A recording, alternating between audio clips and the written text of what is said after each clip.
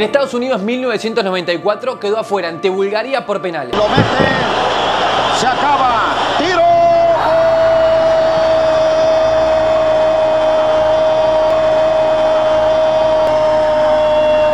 Califica Bulgaria. En Francia 1998 perdió ante Alemania y otra vez afuera.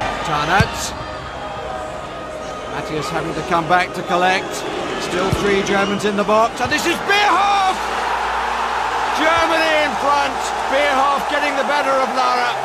And Campos could do nothing. En Corea-Japón 2002, contra todo pronóstico, caída ante Estados Unidos y de vuelta eliminados. Ya termina el quinto partido por octavos de final. Ha clasificado Estados Unidos con goles de Brian McBride a los 7 del primer tiempo y Landon Donovan a los 20 del periodo final. Alegría norteamericana en Chonju. En Alemania 2006, con la maravilla de Maxi Rodríguez, otra vez afuera en octavos de final. Se viene Sorín, la cambia para Maxi. Rodríguez. Arco. Rodríguez.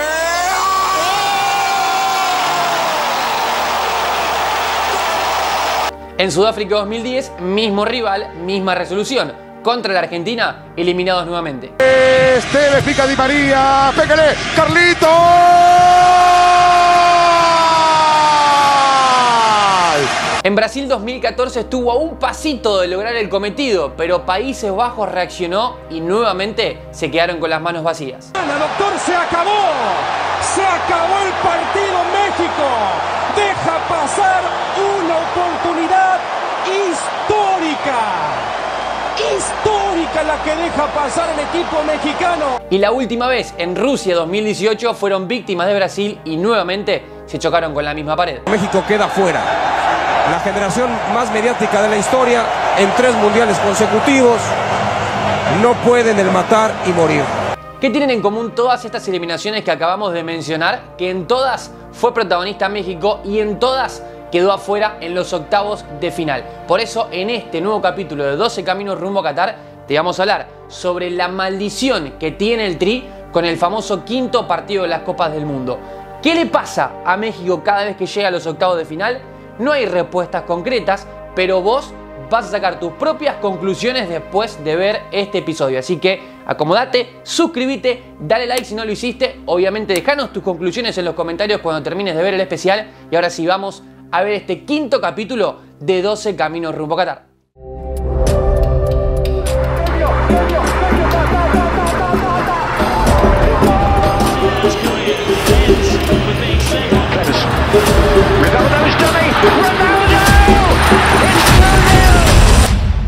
To organize the 2022 FIFA World Cup is Qatar.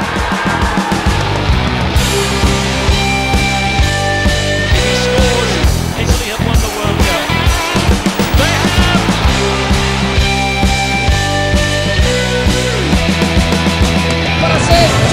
They 12 historias, 12 viajes, 12 caminos a Qatar.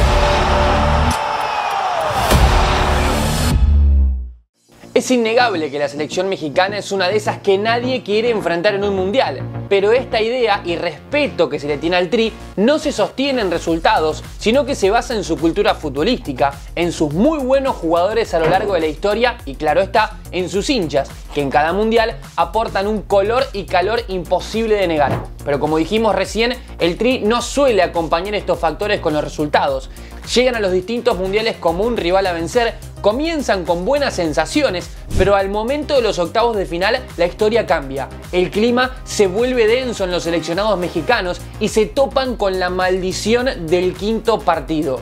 Desde 1994 para acá no se ausentó a ninguna cita mundialista. Es más, desde Estados Unidos 1994 que viene clasificando los octavos de final. El tema es que en ese momento clave, en esta fase final, México se choca con una pared invisible. Desde la Copa del Mundo realizada en Norteamérica, el cuadro mexicano viene quedando afuera en los octavos y vamos a repasar uno por uno los momentos, muchos de ellos inexplicables, en los que el combinado de CONCACAF se quedó con las manos vacías. Antes de empezar, hay que destacar que al último mundial al que México no asistió fue a Italia 1990, pero no por una cuestión futbolística, sino que por una sanción que le impuso la FIFA.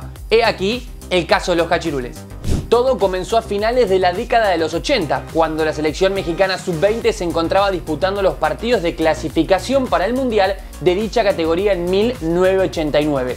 Luego de vencer a Guyana y Guatemala, el trío obtuvo el boleto al certamen. Sin embargo, lo peor estaba por venir. Varios periodistas descubrieron, gracias al anuario oficial publicado por la Federación Mexicana de Fútbol, que la edad de algunos jugadores no correspondía con la presentada en las fichas.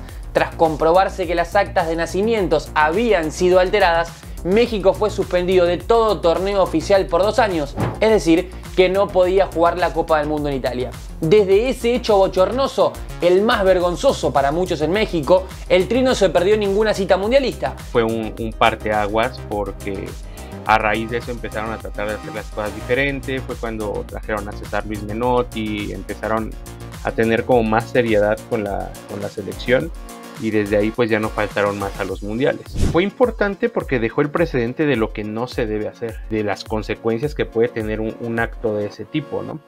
Entonces no, no sé si cambió la mentalidad porque hoy en día en el fútbol mexicano siguen haciendo muchas cosas muy mal, horrible, priorizando el, el negocio por encima de lo deportivo pero pues sí dejó el precedente de lo que no se debe de hacer y de lo que puede costar no ir a un mundial. El primero en llegar fue Estados Unidos 1994, en el que se dio la primera de tantas decepciones. Fue la vez que más cerca estuvo de los cuartos de final. El equipo comandado por Jorge Campos y Alberto García Aspe empató 1 a 1 con Bulgaria y luego perdió por penales tras fallar tres tiros en la tanda decisiva. El seleccionado europeo anotó tres para meterse en cuartos y luego alcanzar las semifinales. Ya a finales del siglo pasado se disputó en Francia una nueva Copa del Mundo en la que México dijo presente y en la que volvió a superar los grupos, pero en 1998, como le sucedió en el 94, volvió a quedarse con las manos vacías en el cuarto partido. En Montpellier, el Trino pudo aguantar el 1 a 0 ante Alemania y sobre el final del juego, el seleccionado teutón lo dio vuelta con goles de Klinsmann y Bierhoff. Eh, el partido se da con todas las ventajas para nosotros, ganando 1-0, el sol a favor nuestro, corriendo más, ellos estaban muertos, fundidos, estaban perdidos, nos lo confesaron al final del partido. Y ahí es donde yo no sé qué, yo no sé, no sé cómo definir qué fue lo que sucedió. Nos pasó en el, en el 86 contra Alemania, en Monterrey, nos pasó en el 94 contra Bulgaria, si mal no recuerdo, y nos pasó en el 98 nuevamente, ganando con todo a favor, con todas las ventajas. Algo pasó nos voltearon el resultado 2-1. No sé si mentalidad, no sé si confianza, no sé si presión, no sé. Ese pasito que nos está faltando hasta el día de hoy, no lo pudimos dar. Y eso es lo que más me, me dolió. Para mí, la selección de Francia 98 es la, la, la, que, la que mejores hombres tuvo, no nombres, hombres. Ya de ahí los, los papeles pues todos fueron los mismos, tanto la de Estados Unidos 94 hasta la de Rusia 2018 llegaron exactamente a donde mismo, con mejores sensaciones en las fases de grupos o peores, pero en realidad sí, sí creo que la del 98 fue, fue la más destacada. Además consideremos que enfrentaron a una gran selección de Holanda y le sacaron el partido, enfrentaron a una siempre complicada Bélgica y también sumaron le ganaron a Corea del Sur, entonces tenían un grupo también complicado y supieron salir adelante. La próxima cita mundialista fue en Corea-Japón 2002. Al campeonato en tierras asiáticas, México se clasificó después de unas eliminatorias convulsionadas y con cambio de entrenador. Javier Aguirre tomó la dirección técnica, metió al Tri en el Mundial y con un juego sólido ganó su grupo tras vencer a Croacia, Ecuador e igualar con Italia. Con Cautemoc Blanco como figura, el seleccionado enfrentó a un viejo conocido en octavos, Estados Unidos. Todos imaginaban una victoria fácil, pero otra vez el fantasma de los cuartos dijo presente. El combinado estadounidense se impuso 2-0 y volvió a golpear fuerte al seleccionado azteca. Toda la gente nos daba ya por, seguros vencedores y, bueno, ahí realmente fue una equivocación, una toma de decisiones muy precipitada. Nos hacen un gol muy pronto, que pronto una jugada muy, rara, nos hacen el gol. Después hubiera habido bar, hubiera sido otra cosita porque hay una mano terrorífica en el área. Pero bueno, ya ni, ni llorar es bueno. Eh, nosotros intentamos atacar, teníamos línea de 5, yo modifiqué la línea de 5, metí otro delantero, no funcionó aquello y desafortunadamente, bueno, ya al final expulsan a Rafa Márquez, nos hacen el 2 a 0 y nos tuvimos que ir a casa. La verdad es que fue una rota muy dolorosa. Al final de cuentas quedamos en el lugar número 11 de, de, de los 32 participantes. Habíamos mejorado lo hecho el mundial anterior por Manolo La Puente que había sido 13 y por Mejía Barón cuatro años antes que había sido 13 también en el mundial de 94. Cuatro años más tarde, en Alemania 2006, México se iba a quedar nuevamente en la puerta de los cuartos de final. En Leipzig se produjo quizás una de las mejores presentaciones del Tri en esta instancia. El seleccionado de la Volpe puso en jaque a la Argentina de Peckerman, pero no le alcanzó para eliminarla. La ventaja lograda por el gol de Rafa Márquez le duró solamente 5 minutos y en el tiempo suplementario, gracias al recordado bombazo de Maxi Rodríguez, la albiceleste se ponía en ventaja para sellar su pasaje a la siguiente ronda. Así se consumaba una nueva decepción del combinado azteca. Porque estás muy cerca de conseguir algo y, te quedas a la orillita, eso te cuesta mucho. Y sin duda, a nivel selección, la eliminación que nos hace Argentina en el Mundial de 2006, con ese golazo de Maxi Rodríguez. Que, eso- que no Sí, hizo nada caray. más. No hizo nada más que ese gol. Y de zurda, la zurda no usaba ni para Él quería el clutch. para que no nos agarraran Sí, mal caray. parados y te la acomoda en el, La acomoda en el ángulo, a minutos del final. Fue catalogado el mejor gol de ese mundial y, y nos terminan eliminando y nos rompen todos los sueños y, los- y las ilusiones. Le faltó el Gonzo meter la porque pierna ese, para taparlo. porque ese equipo tenía muy buen planteamiento táctico con la Volpe. Teníamos una buena eh, mezcla de jugadores y creo que pudimos hacer más. En Sudáfrica 2010, el verdugo fue el mismo. La Argentina de Diego Armando Maradona sacó el Mundial a México tras ganarle 3-1. La selección de Javier Aguirre llegó al certamen sin lucirse, pasó la fase de grupos con lo justo y se terminó yendo del país africano sin pena ni gloria, a pesar de la buena camada de jugadores tales como Gio Dos Santos, Chicharito Hernández, Rafa Márquez, Cuauhtémoc Blanco y compañía. nos, nos des- desorganizamos, nos desorientamos, nos desconcentramos. Es evidente que el segundo gol es, producto de, de la mano del primero, claro, viene de la mano, es decir, no es una jugada lógica por donde la quieras mirar.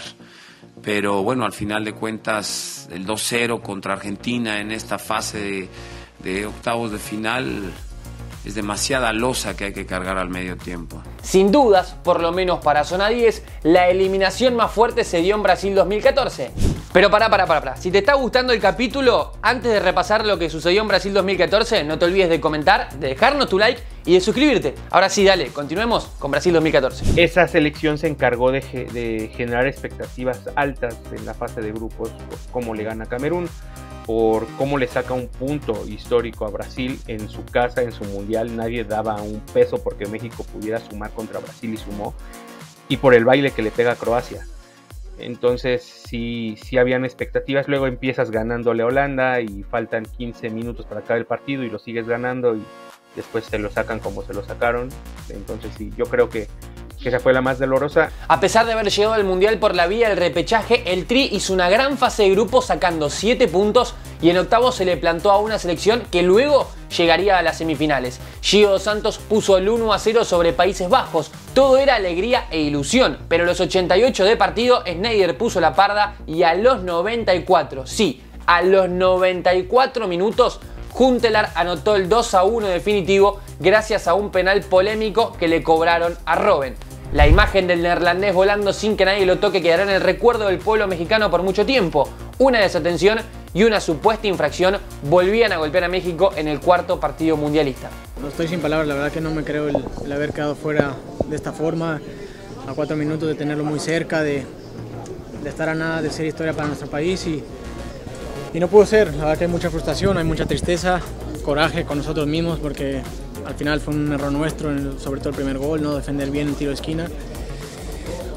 Pero bueno, eh, ya no se puede hacer mucho, ¿no? Estamos fuera otra vez y nada, La séptima aparición consecutiva en los octavos de final se dio en Rusia 2018. Después de un comienzo espectacular de la fase de grupos tras vencer a Alemania, el Tri se fue pinchando. Perdió 3-0 con Suecia en el tercer partido y eso derivó en tener que enfrentar a la Brasil de Tite en octavos. El resultado fue un 2-0 abajo y otra vez a casa de manera prematura. Otra vez un mundial sin llegar al bendito quinto partido. Veníamos con una mentalidad muy positiva, creíamos que podíamos eh, romper nuestras propias barreras, pero no pudo ser. Creo que al final Brasil tuvo la fortuna de, esos dos tiros, mal, mal tiros y que les toca rechace y aprovecharon las oportunidades. Yo creo que tampoco fue una victoria fácil para ellos, pero, pero pues nos volvemos a quedar en la, misma, en la misma posición y en el mismo lugar. Siete Copas del Mundo consecutivas y siete derrotas al hilo en el cuarto partido mundialista. Jugadores, entrenadores e hinchas saben la importancia y el peso que tiene ese bendito encuentro. Yo creo que ese es el tope del fútbol mexicano. Salvo la eliminatoria del 2002 contra Estados Unidos y la de Bulgaria en el 94. Creo que México no ha tenido uh, rivales a los que pueda considerarse superior al menos en la salida. Pero yo creo que octavos de final es el tope de, del fútbol mexicano. Hoy en día es así.